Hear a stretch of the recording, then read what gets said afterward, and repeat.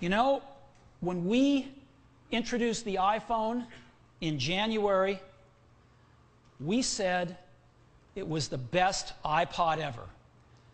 And iPhone owners agree with us. And people have been asking us and wondering when are we going to bring this technology to an iPod? Well, the answer to that question is we're going to do it today, and this is what the product looks like.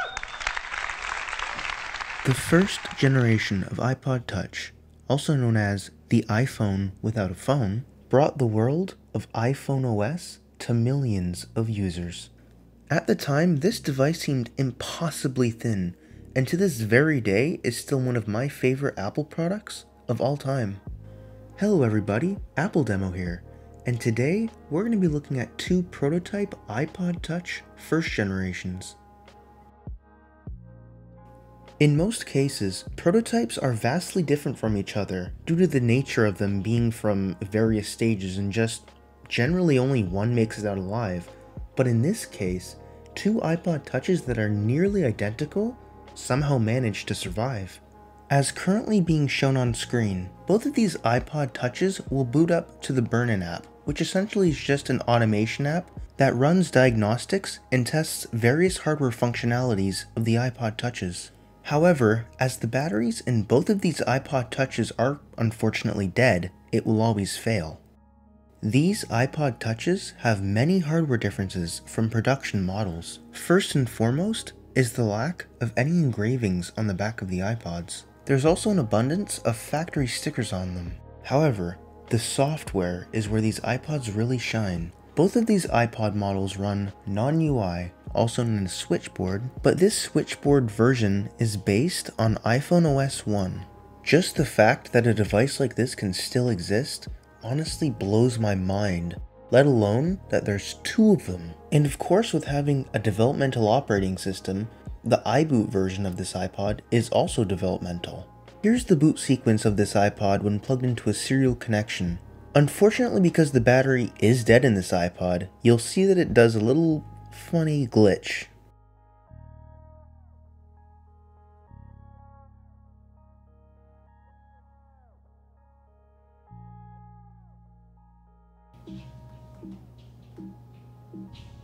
Yeah, I don't think it's supposed to do that.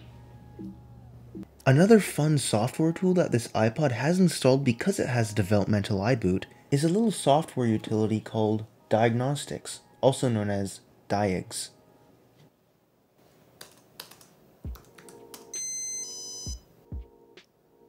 Diags is essentially, a, you could say a pseudo OS where it's very, very, very compact and it does really only hardware testing. For both of these particular iPod prototypes, the only way to interact with Diags is through a serial interface.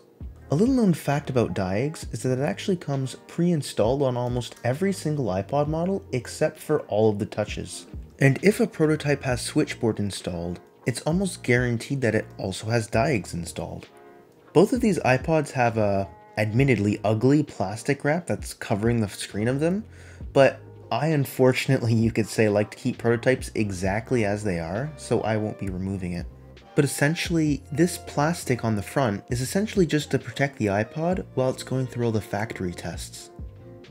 Going back to the default boot configuration of these iPods, they both will automatically run an automated testing app called Burn-In. One particular test I think looks really cool, but I do have to warn about an epilepsy warning. I believe the reason for this test is that there would be an engineer watching the screen, checking for any screen defects or dead pixels. This next test I think is by far the best looking, but it runs for an incredibly long time.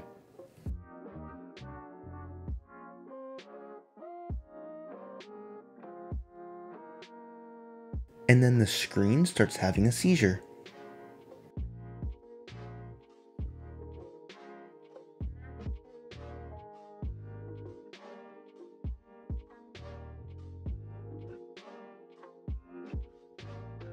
And then finally, the automated testing app detects that the battery does not work and fails. With how long I had the iPod running the tests, I was pretty disappointed. But I actually have no plans on replacing the batteries in these iPods. The reason being is that, first of all, to even open these iPods, it's so hard and you're likely to cause a lot of damage to it. And even if I did replace the battery, it's probably just gonna die again in 10 years. And because both of these iPods still have the manufacturing plastic on the front and back, they're in absolutely mint condition, and I don't want to cause any damage to them. And besides, they're absolute pieces of history, and I want to preserve them, not destroy them. And now for the grand finale, I'm going to play back some no commentary footage that I still have of these amazing prototypes.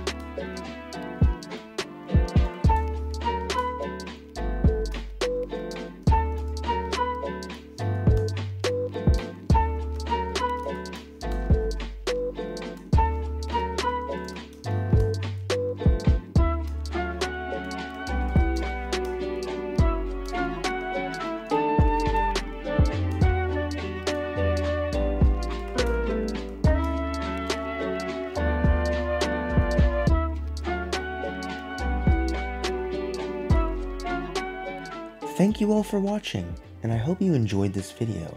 If you did enjoy it, please leave a like, and maybe even consider subscribing, as it really helps motivate me to create more content like this. I really do hope that you enjoyed taking a look at these pieces of history. And as always, I'll see you in the next one.